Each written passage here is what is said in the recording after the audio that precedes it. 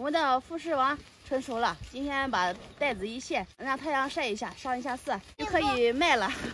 套袋的时候只有这么一点点啊，嗯，等卸袋子的时候就长这么大了。对啊，孙子，啊，你看这卸袋子还挺有讲究的啊，轻轻的也要把它撕下来，要不然两个苹果就报废了。啊报废就吃不成了这两个就已经掉了，啊，你把袋子直接撕烂就行了。知道了。你喜欢来，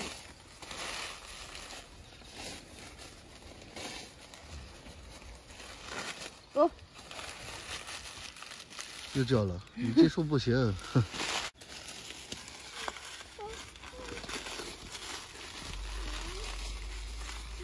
来。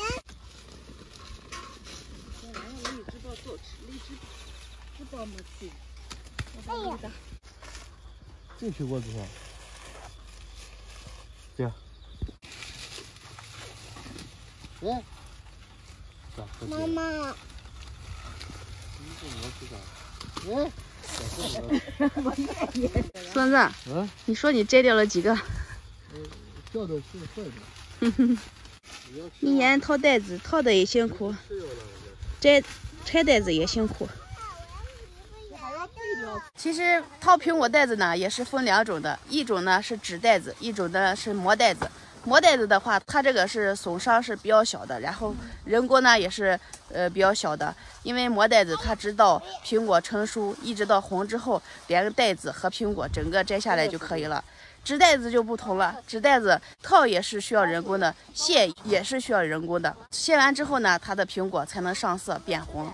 有的像我们短枝红富士更费人工，它这种呢就是要卸两层袋子，一层呢就是外边这种黄色的这个袋子，还有一层呢就是里边这个红色的袋子。这种卸两层的原因呢，就是怕它晒伤，因为短枝红富士是晚熟苹果，整个袋子如果卸下来之后呢，它那苹果就容易晒伤，所以呢就要分两层，一层一层的去卸，这样确实是更费人工一些。这一束应该是咱的苹苹果王啊，富士王。啊，这那个是一个品种。嗯，去年也有很多朋友尝过咱们家的富士王。这种的苹果嘛，一部分朋友们去年应该也尝过。呃，因为这种苹果呢，就是说大也不大，说小也就是很小的那种。呃，但是它的口感呢是非常好吃的，刚好一个人能吃完的这种，确实非常小，一点点。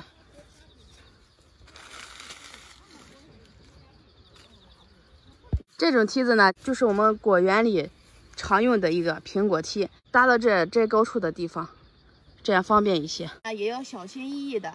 你如果 力道放猛的话，它苹果就下来了；如果力道轻一点的话，它它那个就在上面好好的长着呢。一边说着一边就翻车了哦。孙子，嗯，自从嫁到你家里，你家的活确确实挺多的啊，苹果多。啊。就这苹果就要弄一年的时间。掉，又掉了。你别弄了吧。今年苹果怎么这么脆，一碰就掉了？今年就是受气候的影响，有些苹果确实有问题。今年看来咱们家苹果又要亏钱了。哼。苹果甜没？走，下一棵树。韩一墨，你这么早就想着给咱家摘苹果吗？拜拜，把这两娃带过来，咱俩干活工程就少了一半了。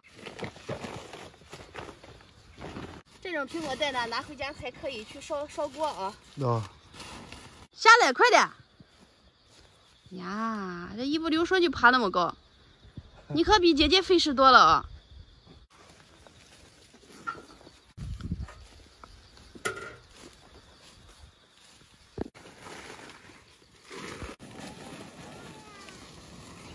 哦，这是外个鸡，马段自己。这个地这个地里这么快就弄完了，想必大家也能看到我身后苹果的现状啊。个别树上会看起来有有那么几个苹果的，但是也有个别树上看起来都是一个都一个都没有的。今年的产量确实着实令人头疼。往大片看一下，你看那棵树上就一个、两个。去年的树上大家见过没有？红彤彤的一片。今年确实没有什么东西啊，咋了？咋了嘛？姐姐欺负你了？往年的话，就光这个苹果袋子，在我背那头就要堆堆好多，今年就这么一点点。你那个就已经吃完了吗？这又摘？刚才那个掉地上了。咱家看来就是苹果多啊，吃掉地上不捡起来，又重新摘摘吃。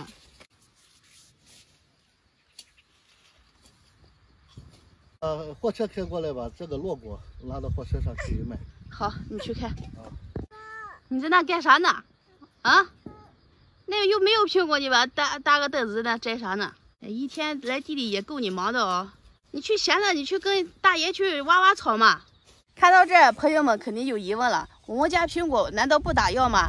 小孩直接从树上摘下来就能吃？其实呢，每个农作物它都是要打药的，只不过我们这边打药的话，它是往树枝上去打药的。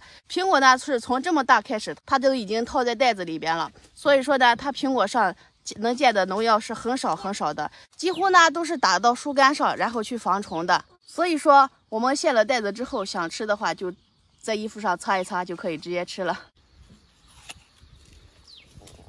呃，我们家汤圆是除了别的爱吃苹果，你比妈妈都爱吃。我发现默默还是贪玩的很。哎，倒了吧？哎，没事，垫垫软，摔不疼，站起来。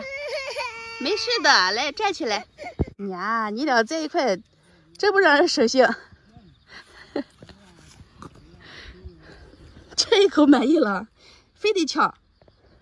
这多子也是好。小酸。小酸，哎，老酒喝。我要。这装吧，装完就结束了，回家了。我干不了。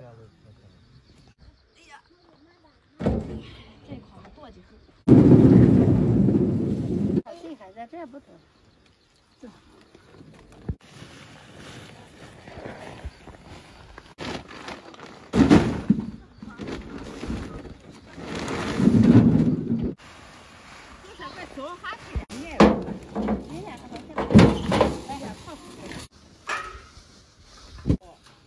哦，有大包。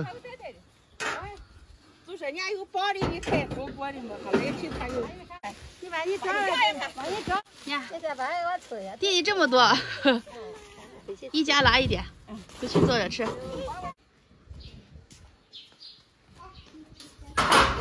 这么一早上了都饿，赶紧喝，赶紧。